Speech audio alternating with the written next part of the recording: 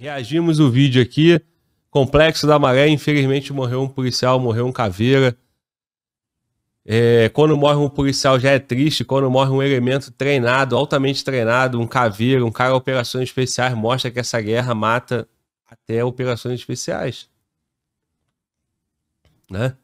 A polícia continua ganhando, né? Prendeu um monte, matou mais, pegou mais armamento, mas e aí? E aí? Morreu polícia, cara.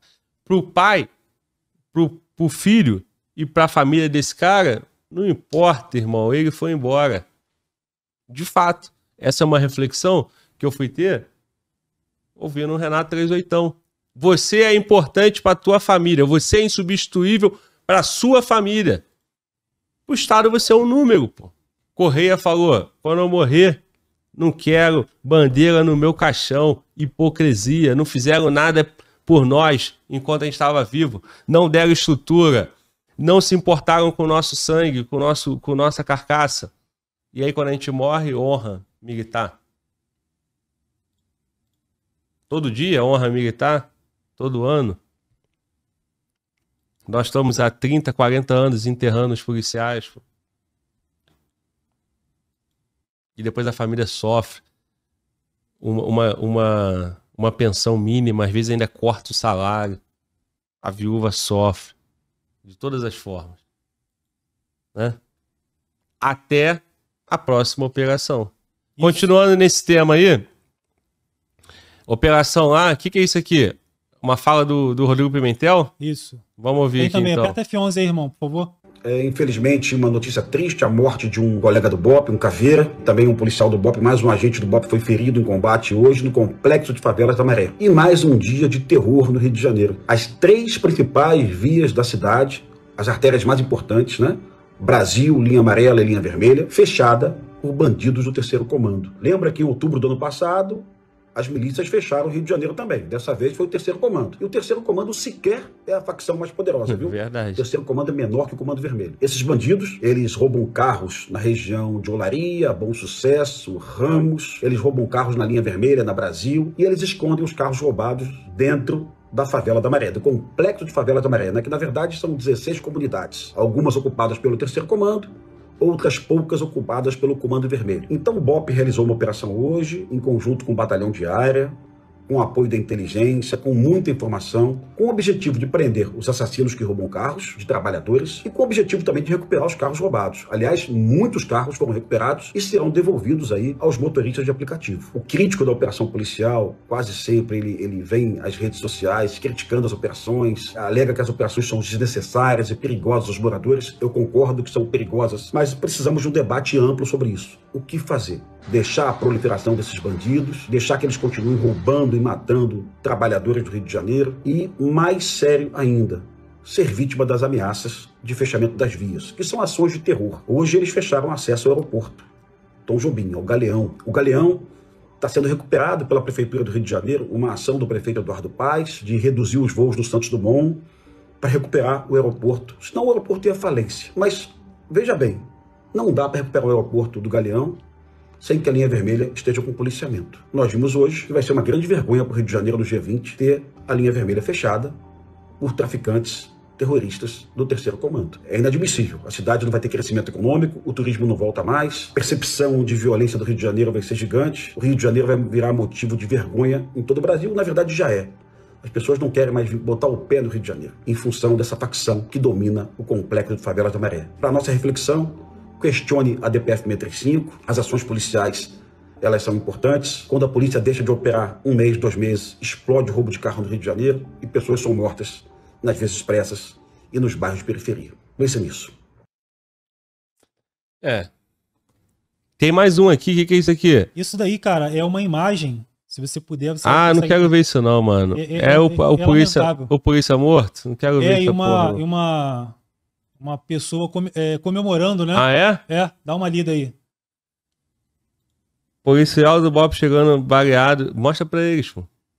Policial do Bob chegando baleado no Hospital Geral de Bom Sucesso. Deus me perdoe, o Senhor sabe do meu coração, mas que satisfação ver essa cena. Que... Ver essa cena. Que satisfação. Que isso, pô. Deus me perdoe o senhor sabe do meu coração. E ela tá comemorando o policial morto, cara. Tem um áudio aqui, não, né? Não, não. Ah, cara. Aí. É isso. A sociedade, a pessoa, o, o camarada que, que não, não tem nada a ver com essa guerra, ele já não sente mais nada. Ele anestesiou. E uma infeliz dessa aqui tem satisfação em ver o policial morto. O que, que a gente conclui disso? Ela faz parte do crime. Ou ela é mulher de traficante, ou ela é faz às vezes o traficante. Ela é a própria traficante. Ela pega no fuzil e troca tiro com a polícia, pô. Eu só consigo imaginar essa possibilidade para alguém ter satisfação em ver essa cena. É o outro lado, é o inimigo. Agora, porra, não quero entender que alguém da sociedade nutre um sentimento desse, pô. Infelizmente, não é impossível, né? Não. Talvez, eu, Glauber, seja mais possível, seja mais, mais comum do que a gente imagina. Você vê, é, você contou uma, uma situação que aconteceu lá no Flow, com, quando você estava fazendo umas vendas e tal, o negócio dos vasos lá, né? Quem viu sabe o que, que você falou, né?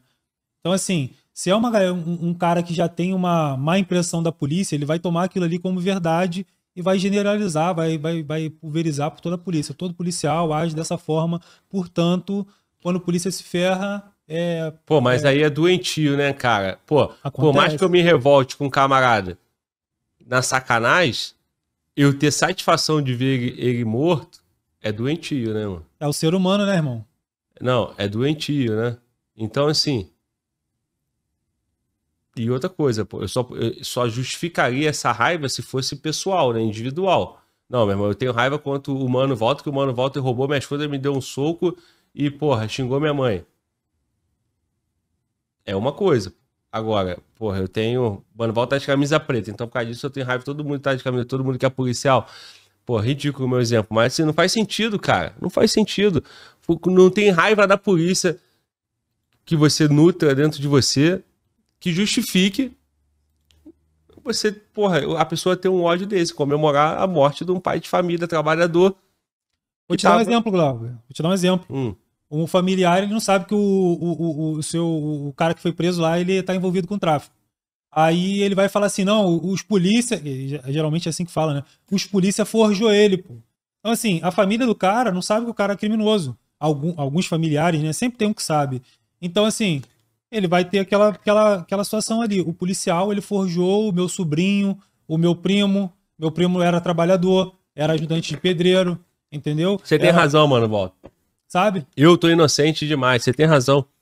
Um monte de playboy em faculdade, um monte de gente com a cabeça derretida aí, nutrindo esse sentimento aí, pô. Achando maneiro ver o polícia morrendo, né? E outra coisa, irmão, isso é reflexo o quê? Isso é reflexo da, da, da do jornalismo, né? Que bota sempre o policial como vilão, a gente vem acompanhando isso nos últimos vinte e tantos anos. Então, assim, isso forma uma opinião por si só. Aí você escuta um burburinho aqui, outro ali, aí você passa por uma situação, você criou o seu convencimento, irmão. Você criou o seu convencimento. É, irmão. Eu sei, eu, a gente tem que entender que se morreu um inocente e for forjado que ele é um traficante, é tão revoltante quanto. Tu concorda, irmão? Claro. Tu é trabalhador. Sim. Aí, porra, você morre numa injustiça do cacete. E aí tu, como traficante. e tu vira traficante? Sim. Porra, além de eu perder o meu filho, a honra do meu filho foi pro saco. Essa pessoa ter uma revolta, eu acho que é compreensível. Sim, é compreensível, claro. O problema é as pessoas explorarem isso para destruição total, para criar o caos e acabar ganhando com isso. É a militância, pô, covarde, né? Que bota um contra o outro.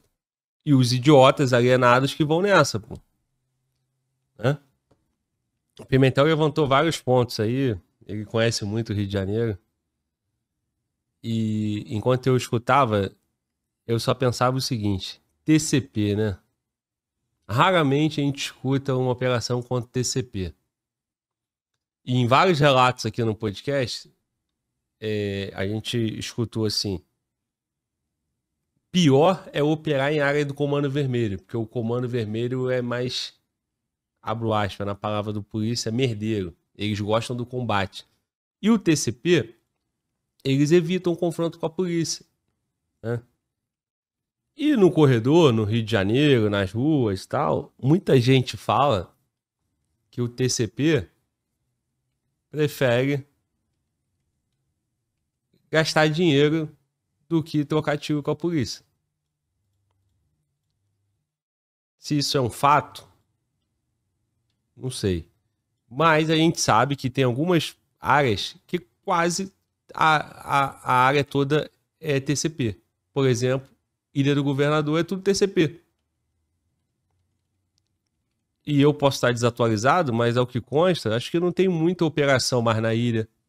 Não tem confronto na ilha. E lá é TCP. Por que que fizeram essa operação contra o TCP? Eu não sei. Né? Mas o Pimentel pontuou muito bem que o TCP é a menor facção do Rio. A maior é o Comando Vermelho. E olha o que causou. A operação foi na Maré e também foi é, na Serrinha. Porque o TCP é aquela guerra com juramento, querendo invadir lá, então a polícia militar, acho isso é bom. Operar é necessário, né? Então foi operar para dar uma pancada no TCP. A motivação pelo menos a formal, oficial, é essa quadrilha de carro e tal. Aí vamos lá novamente falar sobre o sistema né, que retroalimenta. Eu não faço operação na favela, os caras montam bunks, barricadas, monta toda a favela como uma verdadeira porra fortaleza, né? O dia que a polícia entrar, cada um aqui já tem uma função.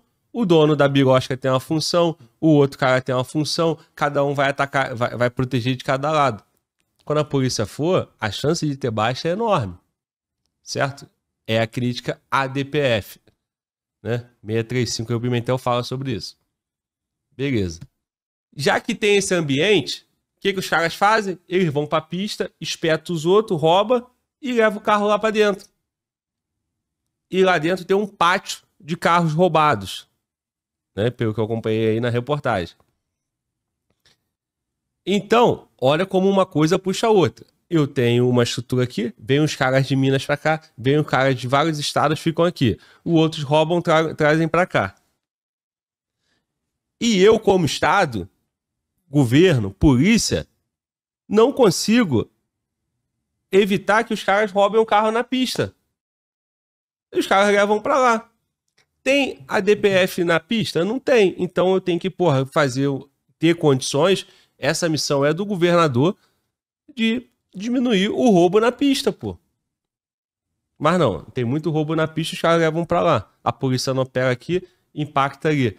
Nas palavras do Pimentel, se a polícia não opera na favela, aumenta o roubo na rua. Porque os caras estão soltos, estão livres, né? Isso, e aí agora a polícia foi lá meteu uma mega operação contra o TCP. E o Comando Vermelho? Ficou assistindo. Pô, Glauber, não dá pra operar contra todo mundo ao mesmo tempo. Eu sei. Suponho que não dê. Só que o Rio de Janeiro é assim, pô.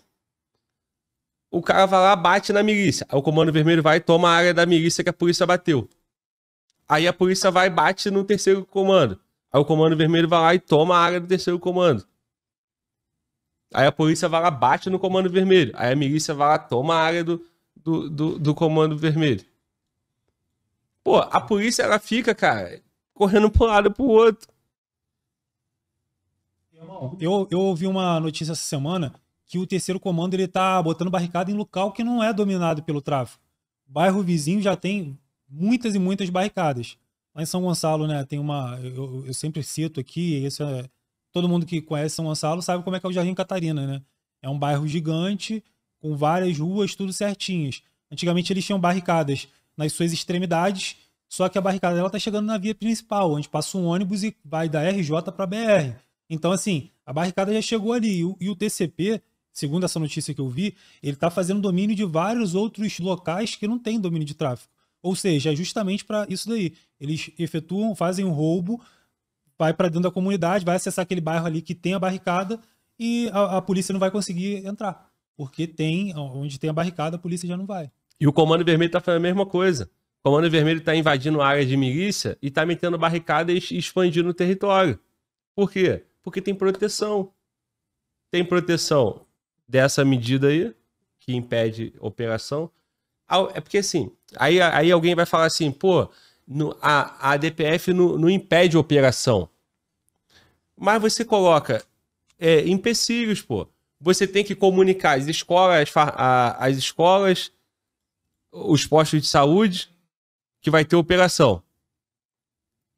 Aí você tem que ter, porra, ambulância e tal. Não, tudo bem, eu entendo. Só que quando tu faz tudo isso, aí você não pode operar com a aeronave. Essa operação, ela vai ser bem sucedida ou mal sucedida, cara? Se eu tive que avisar na escola, a escola vai ter alguém ali, vai ter um líder comunitário, vai avisar no tráfico, porra. Vai ter operação. Até mesmo o, o familiar, né, que estuda ali da, da, do traficante, Ó, a escola não vai funcionar tal dia. Recebemos um, um, um, comunicado que amanhã não vai funcionar. Porque vai ter operação. Então, isso aí é. Qualquer um, pode ser qualquer um. E aí, qual é o resultado, cara? O Estado vai e vai ter confronto. Porque o Estado vai em desvantagem. Toda vez que o Estado for em desvantagem, o criminoso vai se sentir em condições de confrontar. O que eu acabei de falar aqui? Não dá para entrar numa guerra que você sabe que não vai ganhar. O que, que o criminoso sabe? eu consigo ganhar do Estado, pô. Quem manda é nós, pô. É o crime. É o que eles vão dizer. Aonde ele sabe que ele vai se lascar, ele não vai, pô. Não vai. Então, não quer confronto? A polícia tem que estar tá forte tem que ir com força total, porque aí não vai ter confronto. Teve confronto lá no, no dia a dia no complexo do Alemão? Não teve confronto.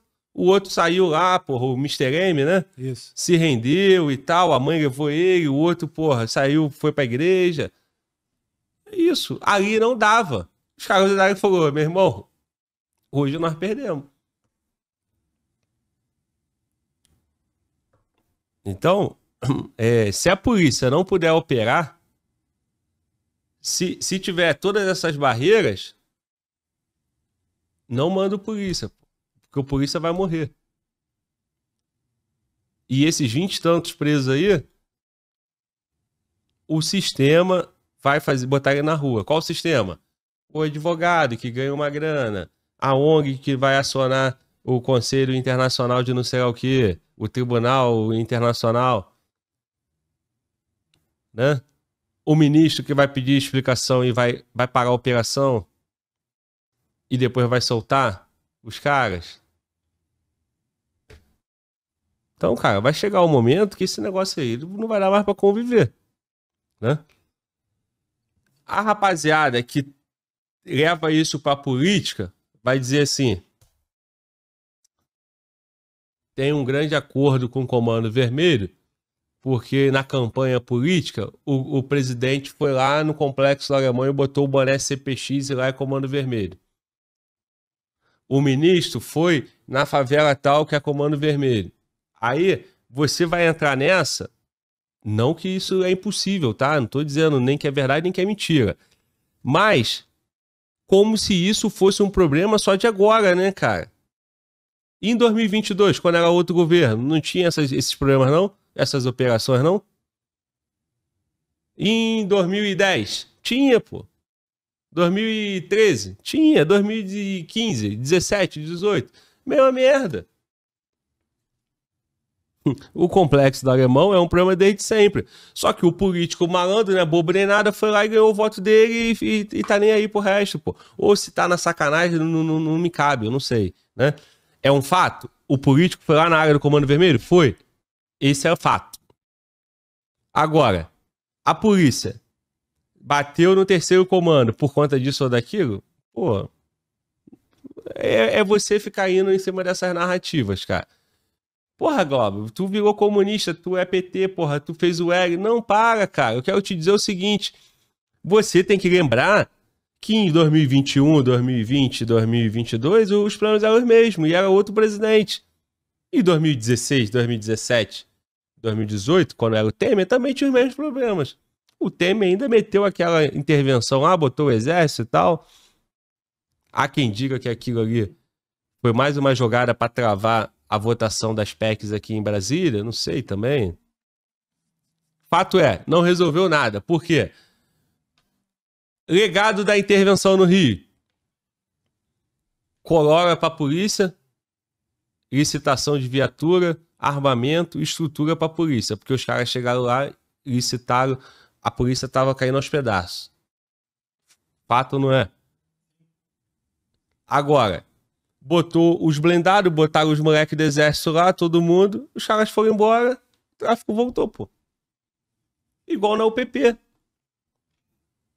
Pra mudar, tem que ter um pacto, meu irmão, nacional, uma parada envolvendo todo mundo. Todo mundo falando assim, meu irmão, olha só.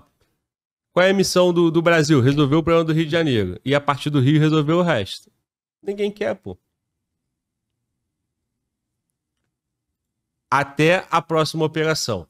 Parece que hoje operaram novamente atrás dos, dos caras que, que mataram o policial. Irmão, tem que ir até o fim, pô. Operou um dia, opera outro. A guerra é contra o TCP? Beleza, então nós vamos fazer o seguinte: nós vamos destruir o TCP, pô. Vão ser operação atrás de operação, dia após dia, mês após mês, comunica a população, aviso geral, igual foi no Complexo Alemão arregaça o TCP. Domina a área do TCP. Próximo alvo. Comando Vermelho. Ou milícia. Eu não sei se isso é possível, cara.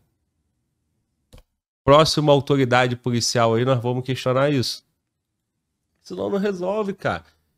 Traz gente de fora, traz reforço, mas não é figuração igual os mil, mil policiais da Força Nacional que foi para lá. E qual o resultado? GLO nos portos e aeroportos. Qual o resultado? Qual o resultado? Foi empregado dinheiro público ali. Qual é o resultado? Quem se responsabiliza por isso?